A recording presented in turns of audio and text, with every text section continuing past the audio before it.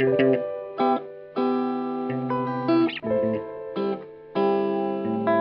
hello and welcome to this new Sims 4 speed build channel. I'm Olita. I'm not new to The Sims. I've been playing around Sims 1, but then I really got into the game um, when Sims 2 came out, where I had all of the packs. And as a kid, I must have wasted so many hours on that game. but I thought it was about time that I shared some of my builds and creations on YouTube.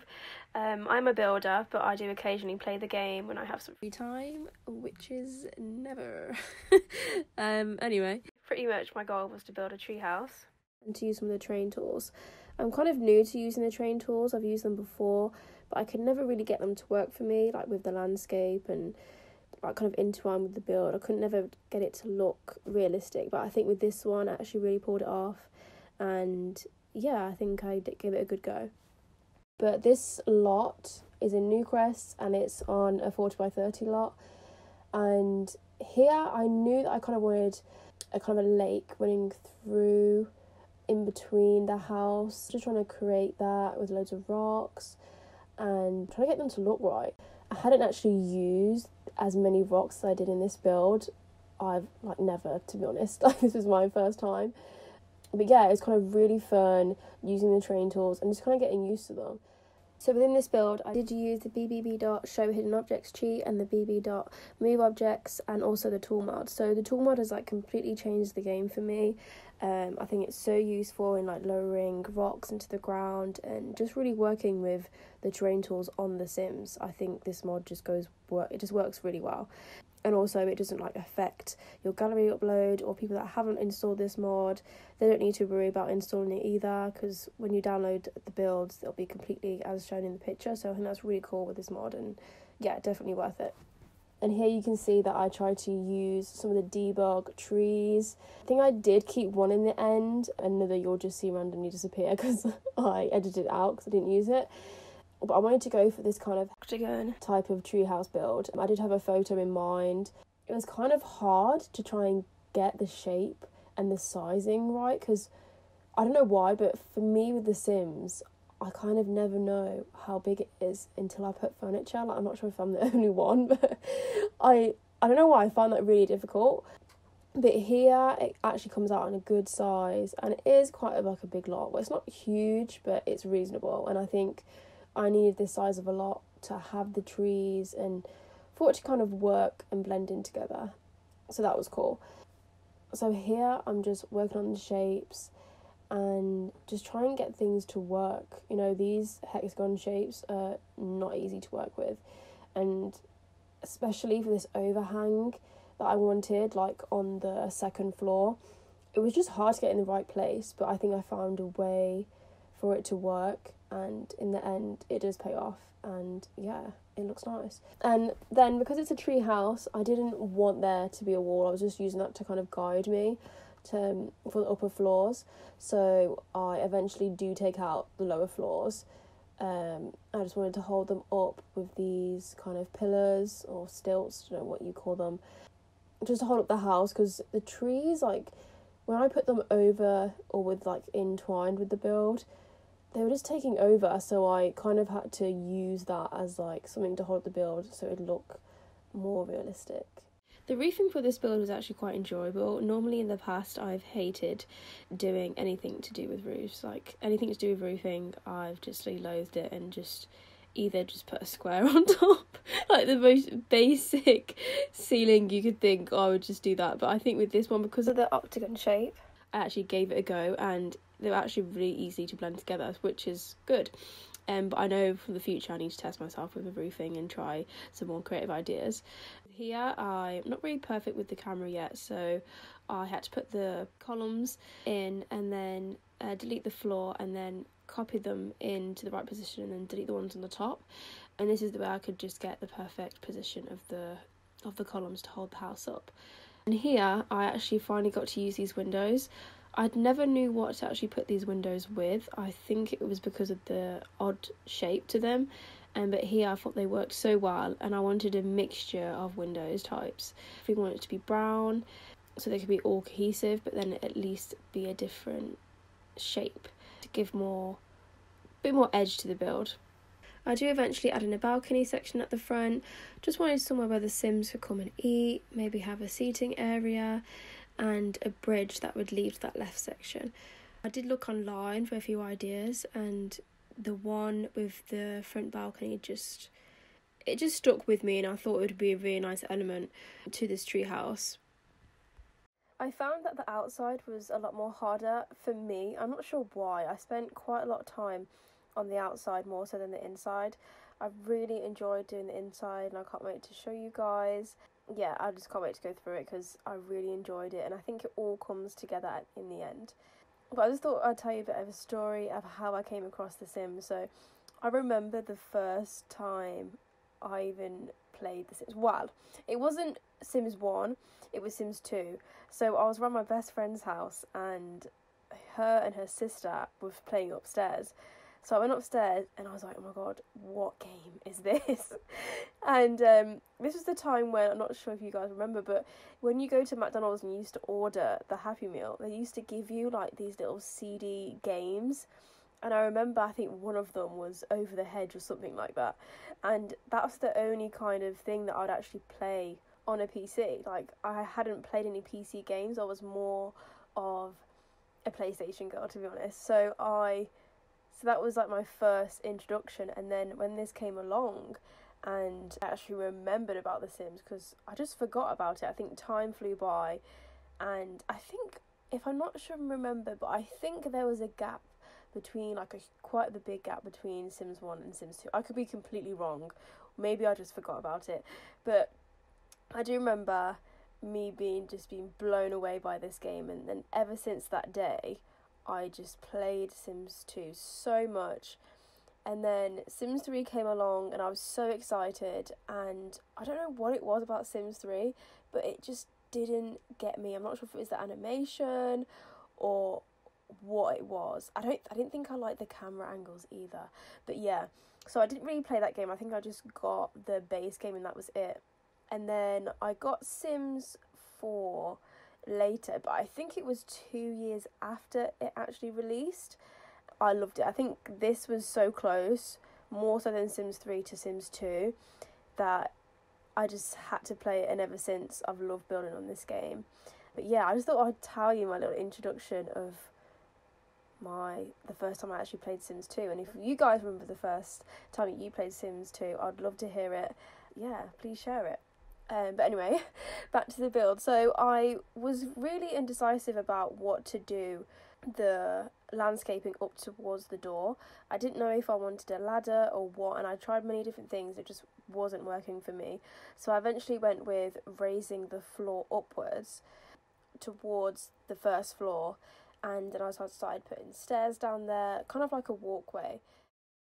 If you guys know any tricks with the camera or just any little tips, please share because I'd love to hear them or see them, even if I know them already. Like, you never know. I probably don't know them, to be honest with you. So, just please share and comment below about any tricks and tricks that you know and yeah, you think it would help me. That would be amazing. I do add some rocks within the pool area just because I just didn't like how you could see the walls and the border around the pool. Well, it's meant to be a river, but the pool. And so I just added some rocks in there. And here I'm just adding all of the stairs. And I just want The Sims 4 team to just add in diagonal stairs because it's just so annoying. It's just so annoying with that diagonal stairs sometimes. And I know that the Sims community have also been asking for bunk beds and L shaped sofas but I really would like diagonal stairs, like so much. But I have to say, I think The Sims 4, I think the, the team have really added like cool things in this year. Like even when it comes to like moving the doors anywhere you like and the windows as well now, like that's such a cool feature. And I definitely within my builds because I'm just doing base game, I really want to experiment with the windows and create something really cool um for you guys, which I will do. And then you can see here I'm laying all the rocks down and I made a huge mistake by laying these rocks down because I didn't alter my camera angle. I was just basically looking downwards, and then when I moved the camera parallel to to the rocks and to the floor, there was so many holes. I had to go in edit it all out because it was just yeah, I made a big mistake. Previously, you probably saw me using the tool mod just then, and that was just for me to lower the rocks because in The Sims it wouldn't let me put them down into the space. So having the tool mod just let me lower them to the ground or in the position that I wanted. And then I did add this like base game bush just to cover some of the terrain because I don't like the brown bit. So I thought it was just nice to cover it up with a bit of a mixture of rocks and and some greenery and then just lowering as well some other side of these big rocks. And these are the debug rocks in the debug menu which are so cool and I love these rocks. I think they've just they're just it's just better to give some other kind of texture rather than the base game ones because I feel like when the base when you I feel like also when you size up the base game ones they can look a bit weird. I did take out loads of some footage of me editing the rocks and adding all these greenery in because you guys just don't want to see the same thing going over and over because that would be boring. And then here I'm just making the front look nice, like with loads of greenery and some flowers. Yeah, just to make it look more appealing to the eye. To make it look quite bland without some landscaping. And I've really tried to level up with my landscaping now. Like before, when I wasn't doing YouTube, my landscape was just plain and boring and yeah, it just didn't add anything to the build. And I think now adding so much more landscaping has just made it so much better. And then I did add these like these columns in again just to add some more extra details to the outside build. And then I think eventually, yes, and then I'll go into the inside and I'm just connecting all the walls and then I really really enjoyed doing the inside um, and then I thought because it's a tree house even though it's kind of modern I um tried to do like a wooden back to the build so it's kind of like all wood even though it it looks okay. It looks it doesn't look as realistic I think but you know I think it still works with the kind of feel that I was trying to pull off. And then with the cabinets I struggled a bit trying to go round. The octagon shape. But I actually do really like the layout in the end. Like I think I pulled it off and I think it works. And yeah, it's a really nice big kitchen. But with here, I actually didn't realise how big it was. Like I said earlier, I always get confused with the sizing of a build until I put furniture in. And when I started putting furniture and like just placing different objects, I was like, wow, like this tree house is really big. Like I did not expect it to actually have this much floor space. But you know, I think it actually really works and it's actually quite nice actually. Like I initially did want it to be quite small, but this size I think actually really paid off because it allowed me to do just different things like even have like a little entryway um I put a wall in just to separate the living room from the kitchen, and it gave me a little space for me to just add some things in. So within this build, I I was thinking of a couple or a single sim to live in this home. This section here that I just added in like a plant section. I think it's quite funny because in real life, I'm not a big fan of plants. I like them, but I don't have them in my house. And in Sims, I always put so many plants in, like just for decor, because I think it, when you add plants in, it's just something to put in the house, isn't it? So I added a little plant section where maybe like the mom or the girl is so happy about her plant section that she has it right next to the door so that everyone can see plant collection. I don't know, but yeah, I just thought it would be something something cool to do. And then for the living room, I added these base game uh, side table units. Just turn them round and then just for add like a little panel at the back behind the sofas. And then this trick here is you just downsize these chairs and then you can just add them in to look like cushions. Because I feel like, I don't know, I just feel like we need more objects with cushions on. Because I don't think there's many luscious cushions that are just going with I don't know my vibe. So that's why I just downsized the cush the chairs, sorry, um, and added them into the sofa just to add some more texture and colour we don't really have many curtains for the game, so I had to then windows, them just plain panel windows. I had to do a little smaller size on each side of the middle one, so I could add in this curtain, which I think actually looks really nice. Yeah, so that's cool. And then these picture frames, um, I added them in just to add some more texture rather than just a plain pink wall and with the mirror splashback in behind and then just little ornaments here and there just to add to the home.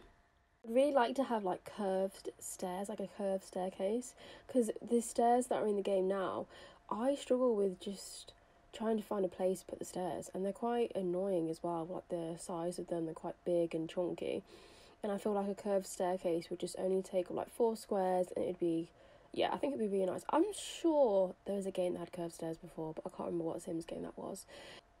But here I wanted like a magazine to go on this coffee table and then I added lights underneath the pictures on the wall. And here just adjusted some lighting in the room which I think was nice and some more pictures on the stairs. And yeah I just didn't think that I tried to get the colour of the stairs right. I think the brown goes. I always find it difficult just placing stairs in general. I just find that hard.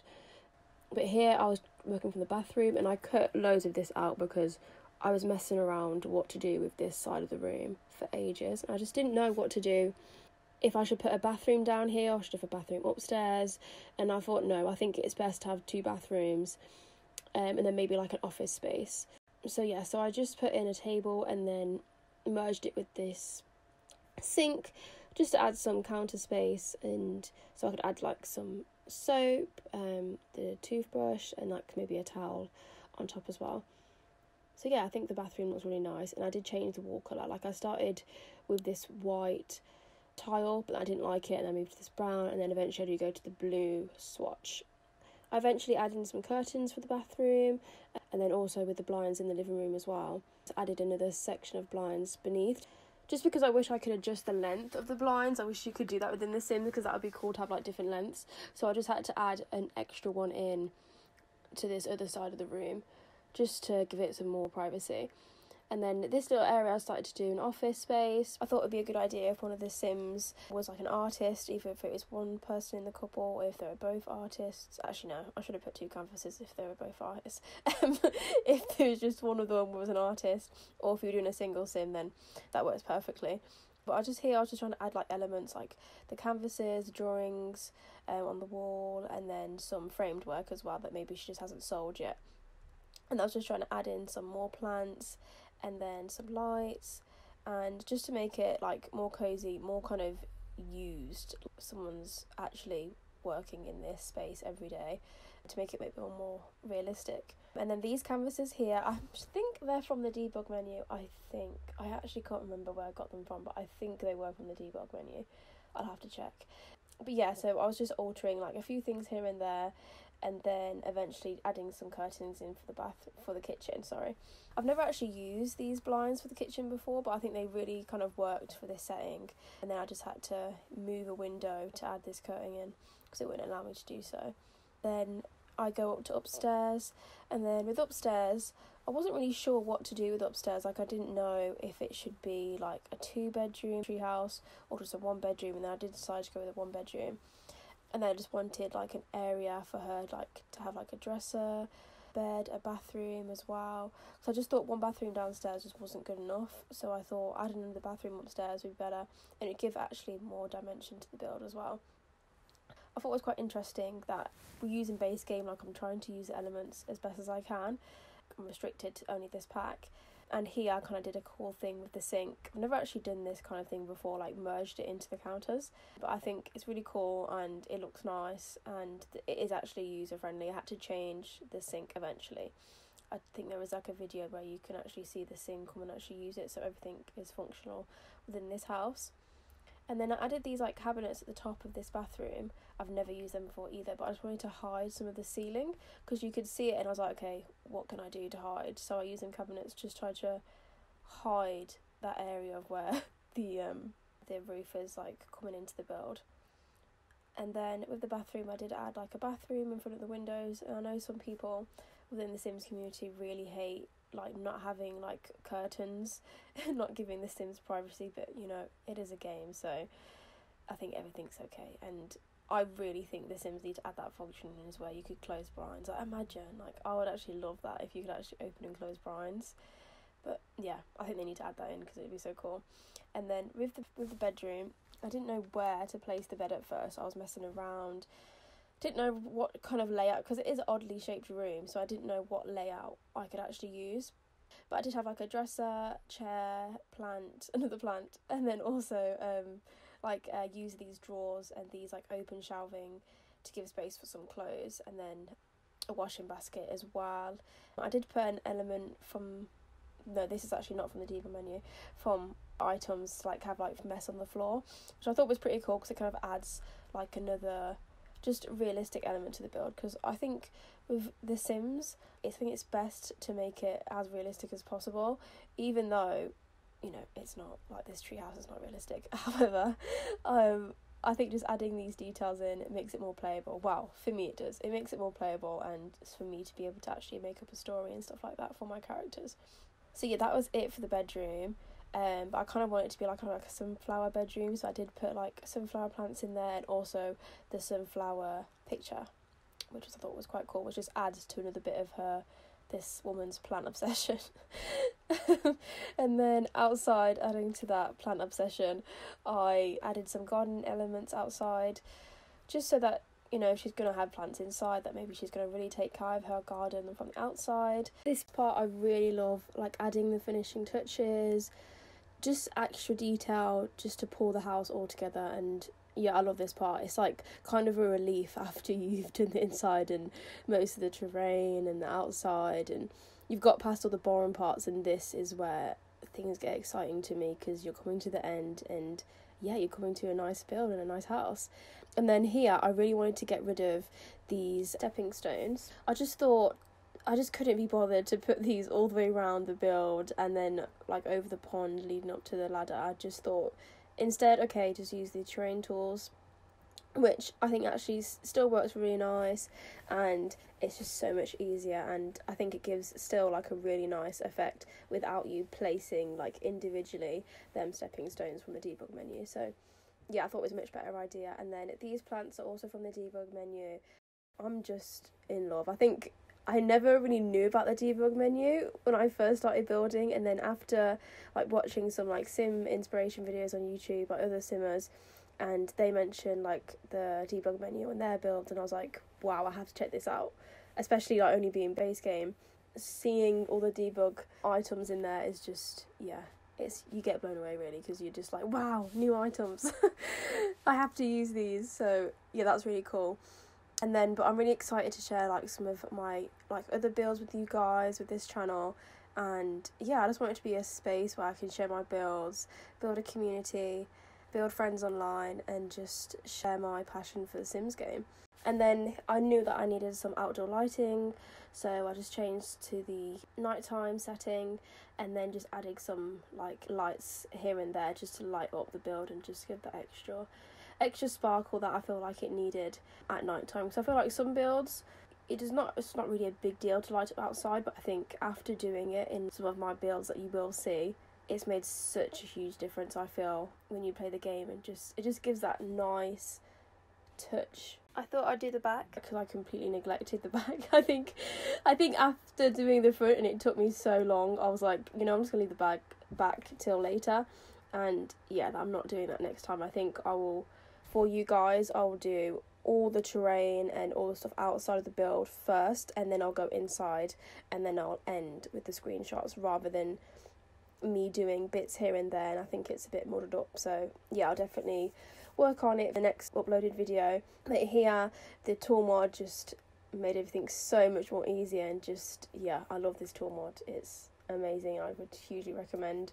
It allowed me to put these rocks into the ground and just give that nice touch and just hiding the horrible brown slope that's on the edge of yeah, the hill that I just didn't really like. So I thought these rocks would be perfect. And then from working with this terrain, I kind of realised that everything can't be so perfect. Like it looks better kind of scattered around and kind of random. And for me, like I've never done terrain like this before. It was kind of like a learning curve where in the past I would do everything so perfect and just in a row, like by square by square. It just my builds never really looked right, and here I try to change that by making things random, and then adding some like small details like where the rocks would be, like there would be some like few grass areas and around the trees, and then again using the base game bush to hide all that brown terrain around the side. I did take some inspiration for the landscaping around Newcrest, which is kind of blending things in with the natural terrain around there and then using the same like plants and stuff. This build is uploaded to the gallery and we are coming to the end of this build now. I hope you enjoyed this video. If you have any suggestions for me about builds that you'd like me to remake on The Sims, please comment below.